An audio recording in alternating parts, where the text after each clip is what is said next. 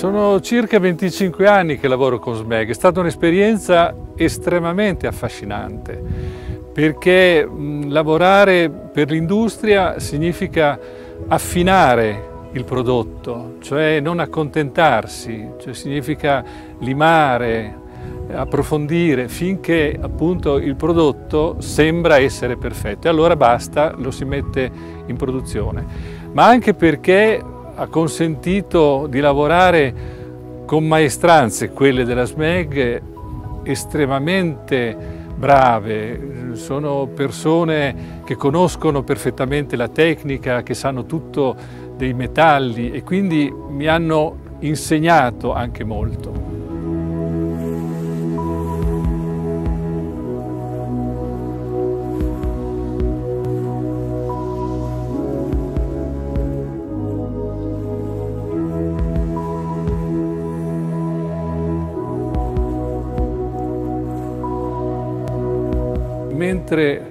Si disegna, si guarda a tutto quel mondo di facce sconosciute che però saranno gli interlocutori del prodotto.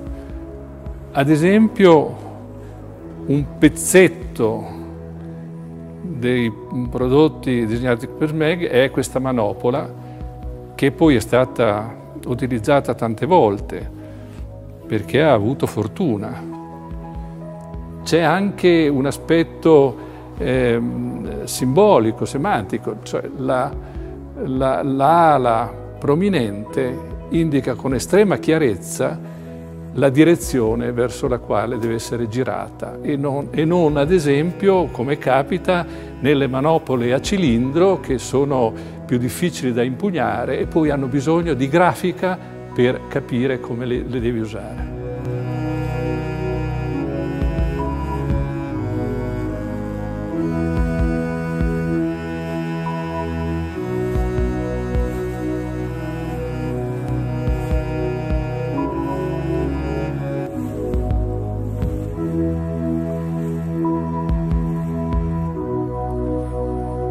Questo edificio in sostanza è come un, una sintesi di, di, del nostro fare architettura.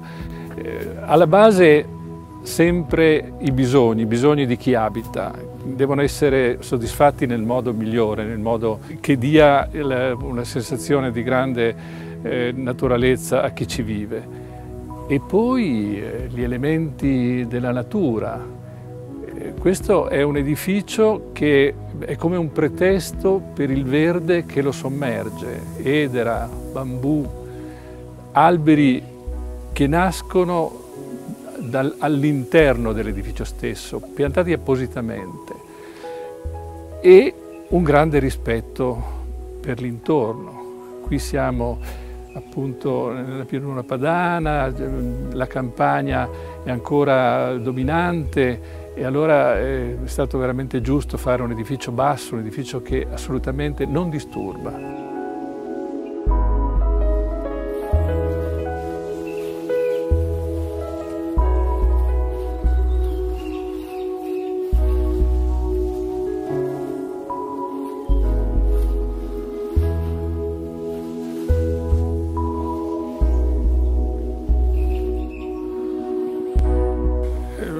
Oggi si assiste eh, ad un grande protagonismo nell'architettura, cioè si vogliono fare dei progetti molto innovativi, molto vistosi. Io non credo che questa sia la strada, né questa né ovviamente l'altra di chi ripropone le colonne, i capitelli e gli archi come se fossimo ancora ai primi dell'Ottocento. Io credo che la strada tracciata dal movimento moderno negli anni 30 sia la strada giusta ancora oggi.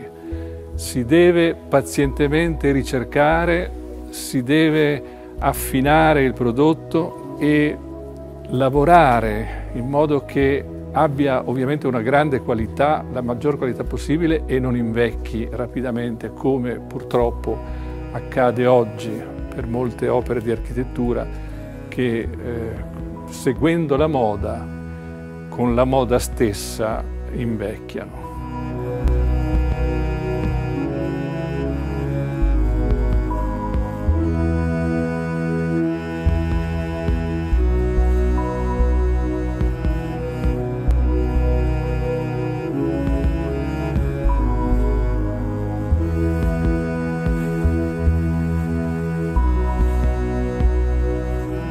Mi chiedete cosa stiamo facendo in studio? Innanzitutto devo dire che siamo una trentina eh, di, di, collaboratori eh, per, per, la nostra società di progettazione e l'attività progettuale è circa metà di restauro, restauro di edifici esistenti, spesso edifici monumentali, metà, forse un po' di più, progetti ex novo.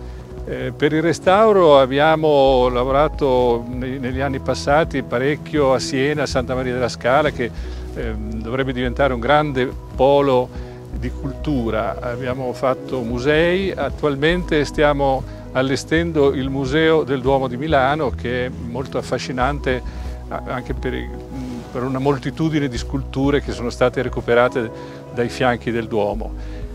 Per quanto riguarda il nuovo abbiamo eh, anche edifici residenziali, ma un edificio che mh, è particolarmente affascinante è la nuova sede eh, generale di Prada, dove raccolgono tutti gli uffici dirigenziali e anche laboratori per la creazione dei campionari, eccetera. E qui veramente eh, continua il tema dell'edificio come contenitore e pretesto per il verde, luogo dove si lavora bene, eh, spazio in cui la luce è protagonista.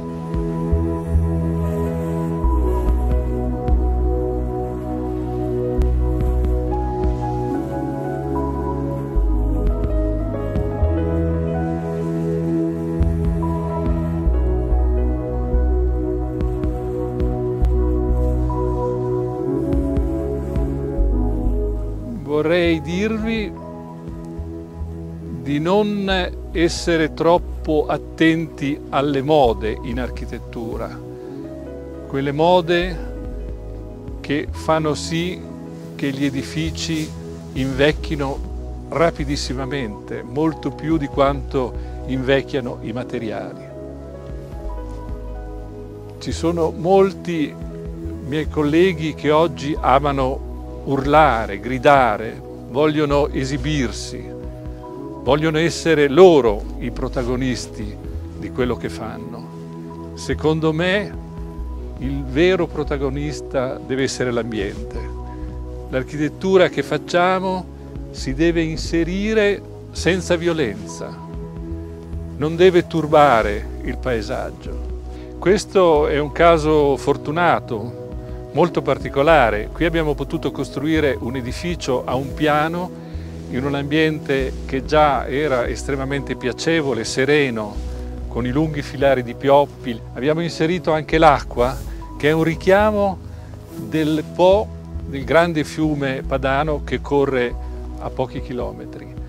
Però credo che il risultato sia interessante in quanto l'edificio non sovrasta l'ambiente, l'edificio non confligge, l'edificio non è arrogante. Credo che quello, quello che si può dire di meglio di questo edificio è che si inserisce con naturalezza e non provoca squilibri nell'ambiente circostante. Il paesaggio, specie in Europa, ma credo ovunque, deve essere amato e rispettato con grande attenzione.